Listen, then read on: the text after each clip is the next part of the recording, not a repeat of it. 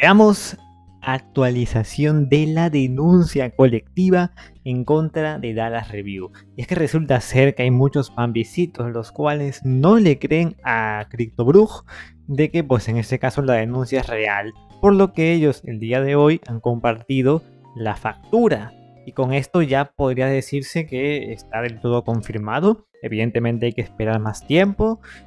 Y todo esto debería ya estar listo para noviembre, ¿no? Dice, para los que no se creen que hemos tenido que pagar más de 20.000 euros, aquí tenéis la factura de los abogados, obviamente tapando algunos datos privados o que puedan ayudar a Dallas. Ok. Aquí está. Factura, letrado José Esteban García González. Denuncia por delito de estafa. Presupuesto 28 de junio del 2024 fecha 16 del 9 del 24. Eh, cliente contrario Daniel Santomé. Ok. Descripción, denuncia de ta, ta, ta, ta, estafa por inversión en criptomonedas. Token Pambi. Precio. Ok. Precio 18.750, no, sé qué es. El total son 20.062 euros con 50, bueno, 50 céntimos. Cuenta de abono, tal, concepto denuncia Daniel Santomé, la firma del abogado y creo que eso sería todo. ¿No? Así es, yo pago esos 62.5 y el resto se los, se los dejo a Nitro Launch. ¿Cuál es 62? Ah, vale. Porque ellos dijeron en un principio 20.000, ¿no? Y luego 62. Vale, vale. Bueno. Entonces, eh, para los que no sepan, esta denuncia colectiva la están pagando CryptoBrug, Nitro Launcher y Deluxe y alguien más, pero esa persona es anónima. Mucha gente dice tal vez sea Willy Rex, tal vez sea Ricky Edit, tal vez sea yo que sé. Pero bueno, es que es complicado saber bien porque como Dallas tiene muchos enemigos, es imposible eh, descifrar quién es la persona la cual está denunciando aparte de esas tres. Ahora bien, veamos los comentarios a ver si la gente le cree a CryptoBrug si ha habido por ahí un bambicito que le ha llevado a la contraria. Veamos. Uno dice, con todo respeto, esta factura hecha en un PowerPoint cualquiera, pero quizá estoy errado. A lo que él responde, ves y llama al bufete de abogados a preguntar si es real. Es fácil, sencillo y público. Ya. Es que, seamos realistas, la gente también está esperando que sea aquí lo más eh, profesional posible, amigo. Yo creo que está bien. ¿Qué más espera la gente? Otro pone, eh, ¿por qué el nombre del abogado es cortado y puesto?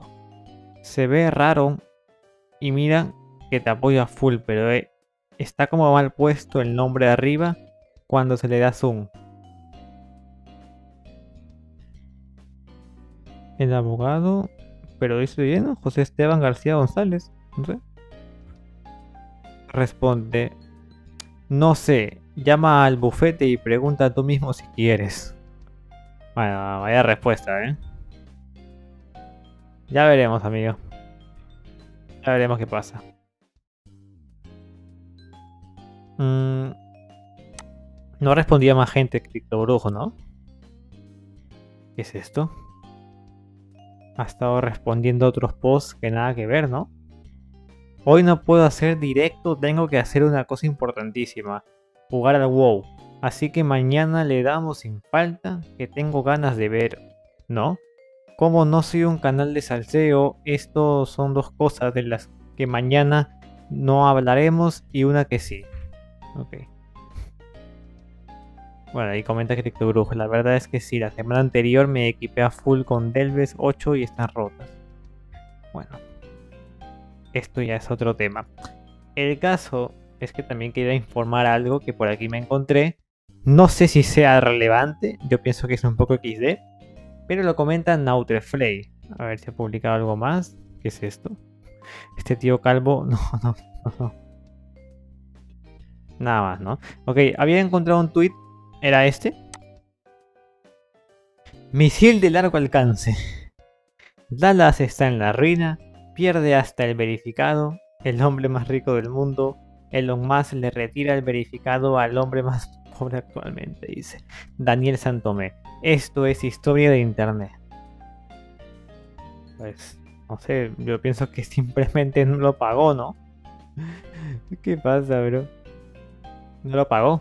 Bueno, yo que sé, amigo. Yo que sé. Ahora bien, por si no vieron esto, lo comentamos hace ya buen tiempo. Oh, no, espérate, creo que esto no es. Esto no es. Hay otro tweet importante de CryptoBrug, el cual creo que sería bueno verlo nuevamente. Eso es lo que hay. Al final nos toca pagar 20.000 euros. La denuncia la pagamos íntegramente entre Deluxe, Nitro Launcher, una persona anónima y yo. Gracias a hacer un pago único, el abogado nos ha podido hacer un precio especial contando que hay cientos de afectados. Ok. Pagaremos en cualquier momento durante los próximos 14 días. Hay que cuadrar unas cositas primero. Ok. Eh, y bueno, básicamente dice, estamos hablando, no, una vez el pago esté hecho, el abogado tiene que terminar unos trámites para poder presentar la denuncia, lo cual puede tardar 30 45 días más. Estamos hablando de que finalmente se pondría la denuncia colectiva en noviembre. En noviembre, chicos, en dos meses, ya debería estar la denuncia colectiva en contra de Dallas Review y ya deberían estar pues viendo todo el caso, ¿no? Investigar y ya eso dependerá de, de los que vayan a realizarla. Tengan en cuenta que estas cosas, estos procesos tardan mucho tiempo, ¿no? Y nada, no se crean que esto va a ser solucionado de aquí al próximo año. Esto puede tardar mucho tiempo. Así que posiblemente tengamos dadas para rato. Tampoco, tampoco yo, por ejemplo, soy de los que no cree que no vaya a la cárcel. O sea, ¿cómo crees que, va, vaya a la cárcel? Eso no va a pasar. Sin embargo, sí va a tener que pagar y mucho. O sea, si, todo, si se le junta todo, puff, madre santa, no sé qué va a pasar, ¿eh? No sé qué va a pasar. No quiero ser vende humo tampoco, ¿eh? eh no, no confirmo nada. Es que, no sé, nunca había... Es que nunca he tratado un caso como este jamás de los jamases. Entonces, pues eso. Solo con Dallas pueden pasar estas cosas, amigos. Solo con el Pampicito puede pasar que le hagan una denuncia colectiva entre 500 personas. no digo más. Se cuidan.